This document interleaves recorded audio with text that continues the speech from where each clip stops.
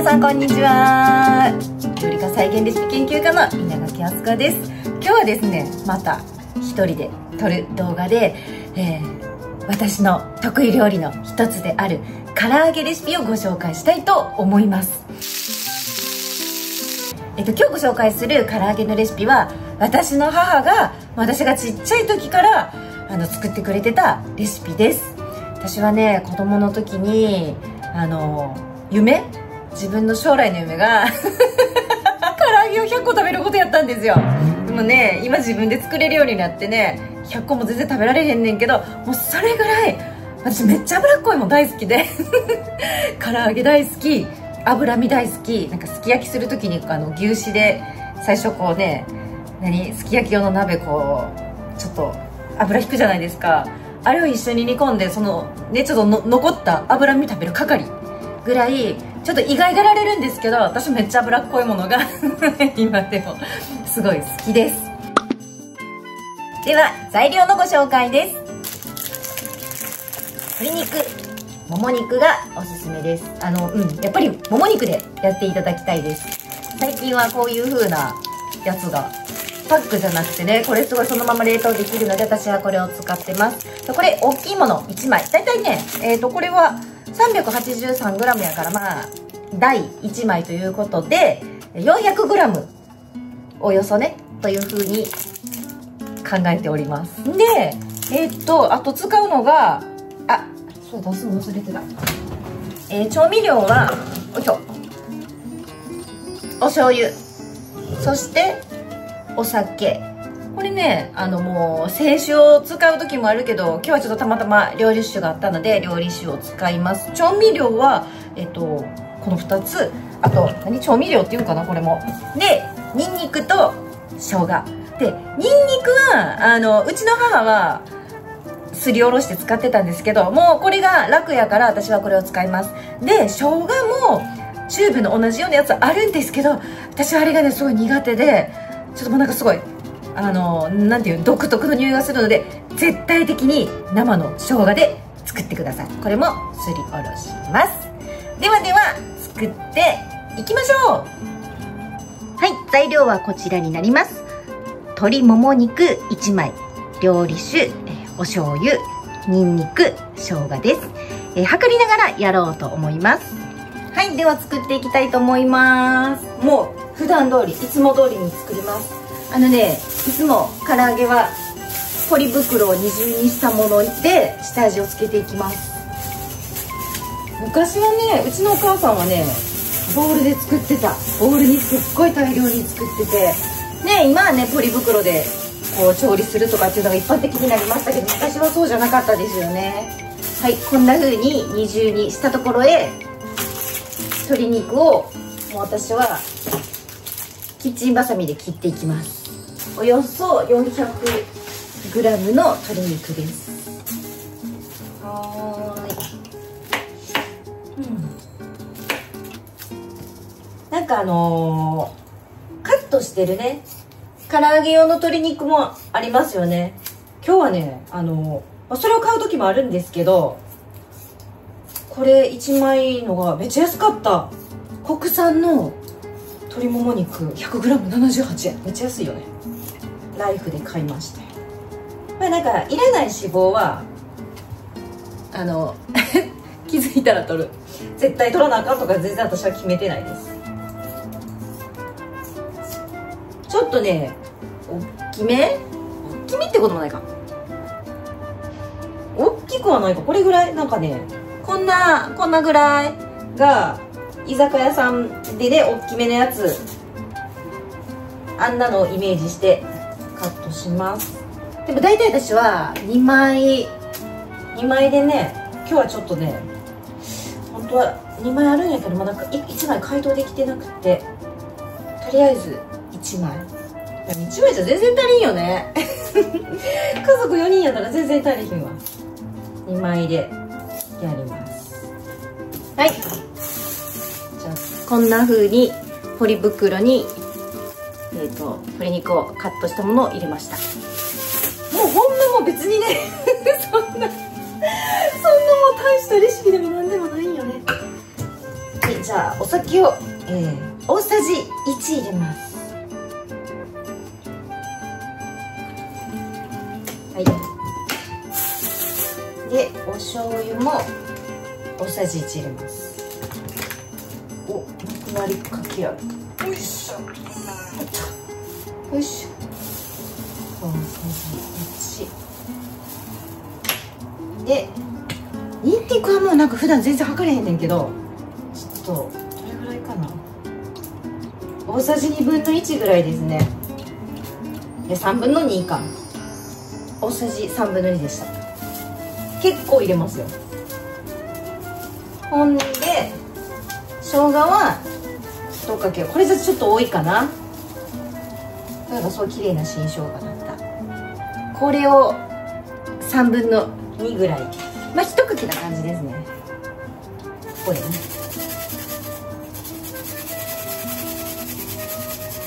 生姜とニンニク醤油お酒。ほんまこれだけ。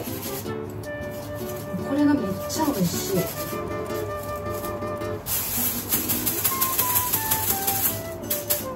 生姜はねぜひとも皆さんチューブじゃなくて生を使ってください。味が全然違うから。でねちょっともしかしたらねお醤油が少ないかもしれない。しれへんくってこれちょっとね私がこう揉んでみて色で確認するんですよ。これでもみもみします。うんこれちょっと若干ね醤油が若干だけ少ない気がすんねんな。あのいつもねちょっとねお酒よりお醤油を少しだけ多めに入れるんですよ。今日これ300ああやっぱね色がねもうちょっと濃い方がもうちょっとお醤油がねまあこれちょっと好みやねんけど。見えるかな？まあまあこれでもいけるとは思うねんけど。見える？よいしょ。ちょっとこれじゃねちょっと薄いんですよ。なのでそうやね。お醤油は今大さじ1入れたんですけど大さじ1.5いやいつも測らへんからもう感覚なんですよ。そうやね。大体鶏もも肉大きいの。1枚に対してお酒1お醤油大さじ1.5にんにく大さじ3分の2で生姜も同じぐらいの量ね1かけ。な感じで。はい。こんな感じです。やっぱ1枚だと少ないね。いつもね倍で作ってるから。はい。これ。でえもうこれでもできたも同然ほんとこれこれだけなんですよ。めっちゃ簡単でしょ？でこれを冷蔵庫でせやね。だからうちの母は唐揚げを作る時は必ず前の晩に仕込んでました。でもねこれ意外とあの30分漬けるだけでも味がつくので急いでる時は全然30分でもやっぱりすぐじゃなくてちょっと30分はつけていただきたいです。はい。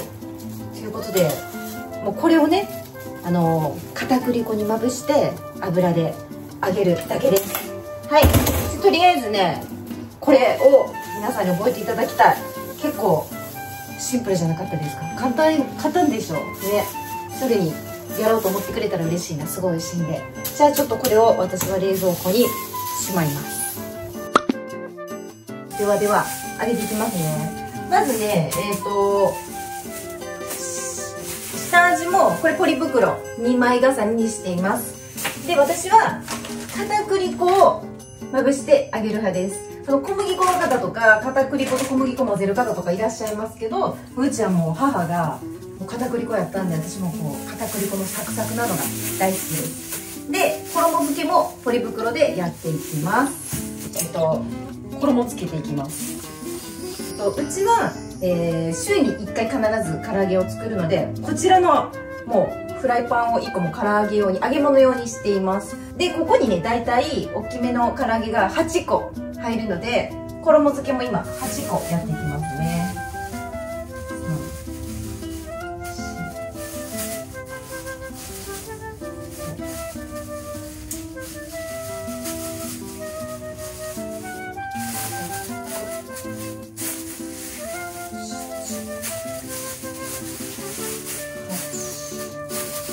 はい。でこれをもうほんまもう毎朝毎朝じゃないあのお弁当でね朝やる時もこうやってポリ袋の中で衣をつけてます。楽ちんな感じで1個分がもう結構大きめ。こんな感じ。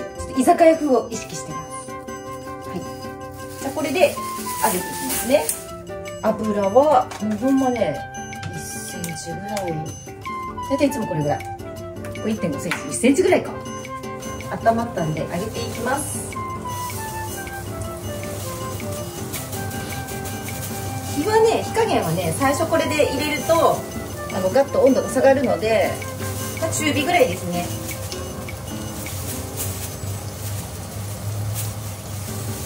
美味しそう。ほら。大きいのが美味しいよね、うん、あの鶏肉ねカットしたやつもあるやん。あれめっちゃ便利で。便利なんやけど今日はこれなんと1枚 100g78 円だった。国産やで。安い。めっちゃ安いやろ？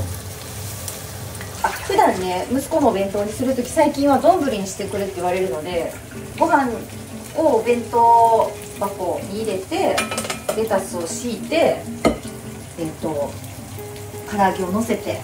してます。そうそうそう。ちょっとあのこのねお弁当箱見てください。ほらめっちゃ薄い。ねこんなねこれが最近楽天で買って息子の弁当箱にぴったりでね。これがこんな風にシリコンでね大きくなるんですでしかもこれ食洗機 OK 最高。でね食べた後はこうやってちっちゃくなるんで荷物にもならへんくってめっちゃおすすめ。ほらパチッパチって。こんな薄くなって結構これ持ち寄りとかにもぴったりでね食洗機 OK っていうのがいいよ。でこんな感じ。楽天で売ってますおすすめ。じゃあそろそろ1回ねひっくり返します。やっぱね私はね片栗粉ので揚げるのが好き。昔なんで？えサクサクするか片栗粉の方が。あちなみにこのちょっと余ったやつは1日では私は捨てないです。ちょっとこれにまだ足してね使ったりするのでこれこって縛って冷蔵庫に置いてます。こんな色。もうまさにきつね色やね。であのねこれ揚げてたらね衣がちょっとふにゃふにゃしてる時もあるんですよ。とまたいかん。もうこのカチカチカチカチというかもうこのカリカリ。ふにゃふにゃしてへんぐらいにするのがポイント。カリッとね。でえっ、と最後結構もうちょっと火を強くしてカリッとさせるのが美味しいポイントかな。ほらもう分かるかな。あの硬い感じ。ふにゃふにゃしてへん。はい。じゃあ揚げていこう。うん。結構1週間に揚げ物めっちゃするよね。うん。ゆうたがもうお弁当に唐揚げはだから週2で入れてって言われてるし、ね、最近はもう麻婆茄子を週1で入れてって言うからこのね唐揚げ揚げた油で茄子を揚げるんですよ。めっちゃめちゃなるよね。でも結構みんなそれが嫌でって揚げ物しない人が多いけど揚げ物製品買ったらご飯のレパートリーだいぶ減るよね。うん。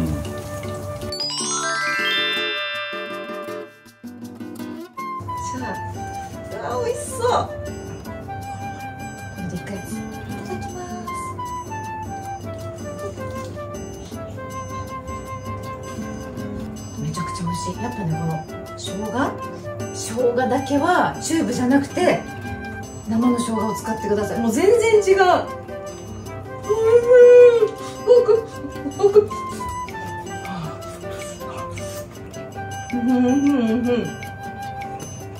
美味しい。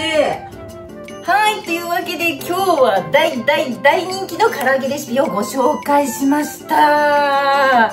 どうでしたか？あのもうポイントはほんまにもう生姜をチューブじゃなくて生を使ってほしい。それぐらいですね。材料お酒、えー、お醤油にんにく生姜このたったの4つ。で漬け込み時間も、まあ、1時間漬けていただいたらバッチリ味がつくと思います。えそして揚げる時にはえ1センチの油でえ片栗粉でぜひぜひ揚げてください。揚げ時間間はね、割とかかりましたね。あの、片面じっくり、えっ、と、中火ぐらいで揚げて、で、ひっくり返して、で、もう一回ひっくり返す感じで、表面がカリッとなるまで揚げるのがポイントとなってます。この唐揚げ、冷めてもめちゃくちゃ美味しくて、お弁当にもぴったりなので、ぜひ皆さん作ってみてください。今日の動画が良かったよっていう方はグッドボタンお願いします。チャンネル登録がまだの方はぜひチャンネル登録の方もよろしくお願いします。えー YouTube 以外に、えーブログや Instagram もやっているのでそちらの方のフォローもぜひよろしくお願いします。それではまた次の動画でお会いしましょう。バイバーイ